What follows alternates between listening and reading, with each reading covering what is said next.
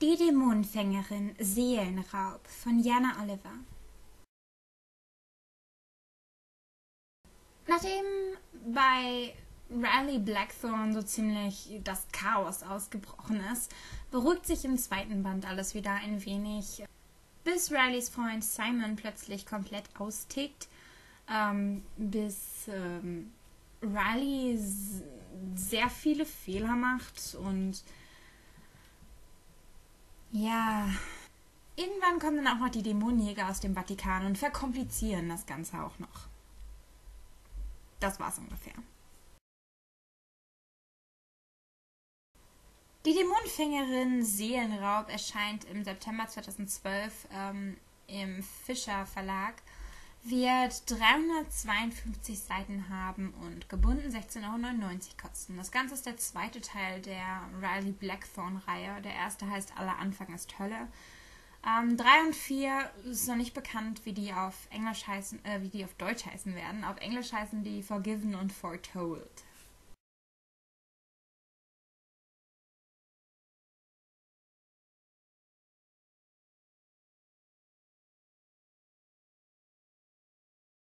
Ich finde es auch hier wieder gut, dass man sich grob an das amerikanische Cover gehalten hat, denn das ist ja wirklich, wirklich gut. Ich finde es auch toll, dass der, was der Fischer Verlag hier macht, also dass man sich grob an das Schema des, ähm, des Covers hält, aber kleine Details verändert. Zum Beispiel wurde dieses richtig strahlende, knallige Türkisblau, was ähm, was im, das amerikanische Cover hat und mich ein bisschen gestört hat, hier durch einen dunkleren Blauton ersetzt, was ich einfach super finde.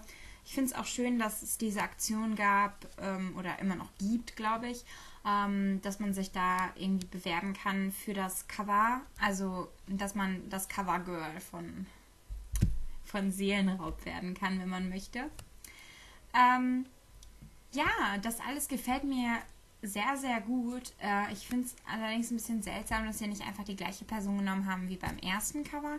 Aber ja, das stört mich jetzt auch nicht so. Was den Titel angeht,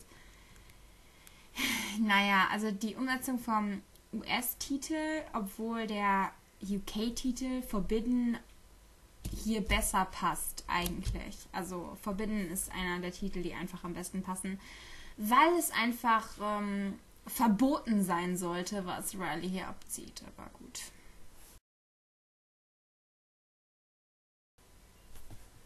Warum?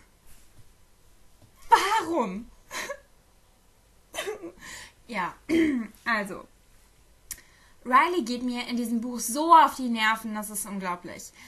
Sie, sie verhält sich ganz plötzlich komplett anders als vorher. Sie, sie, oh, ich fand Oria im ersten Band schon total nervig und blöd, aber Riley schmilzt ja offensichtlich dahin.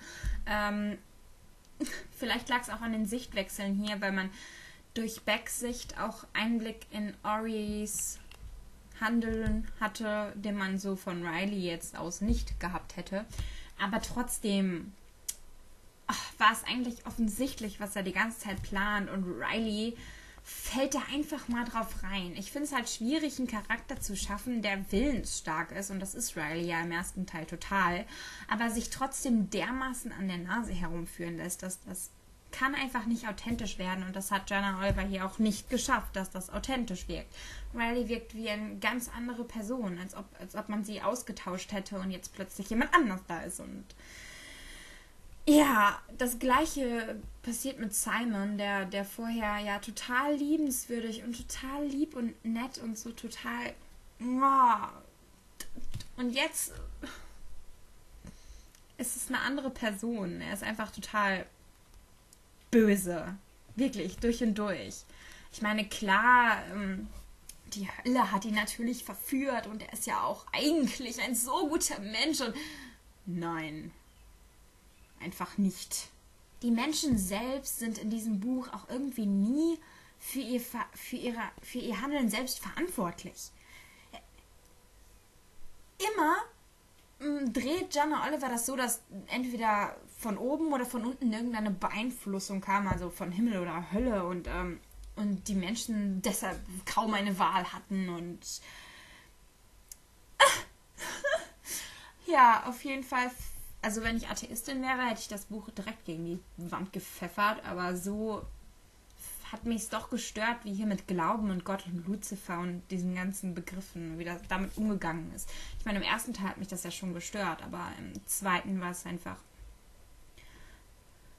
extrem nervig und ich, ich habe die Krise gekriegt. Ja, auch hat mich total gestört, was hier mit Rileys Vater gemacht worden ist. Denn er war so total charakterlos und rückgratlos und einfach total zweidimensional, denn er hat immer nur traurig geguckt oder er hat ihr gesagt, oh, ich liebe dich ja so sehr, mein Kind, ich tue alles für dich. Oder er ist mit irgendwelchen Leuten einfach mitgegangen, ohne irgendeine Erklärung abzugeben. Und ich fand das einfach total bescheuert. So benimmt sich ein Vater einfach nicht. Das, das ist nicht normal. Es ist nicht normal. Man hat auch eine Meinung, man, man Ich meine, okay, man kann natürlich jetzt sagen, er ist von den Toten wiederbelebt worden und er ist deshalb so, aber trotzdem hat mich das total gestört. Ja, nichtsdestotrotz hatte das Buch auch seine guten Seiten.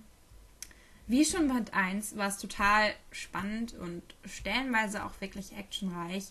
Die Charaktere waren wieder mal super, besonders natürlich Beck und hätte Riley nicht das getan, was sie hier getan hat, dann wäre sogar sie mir noch sympathisch gewesen. Aber was sie hier abgezogen hat, war einfach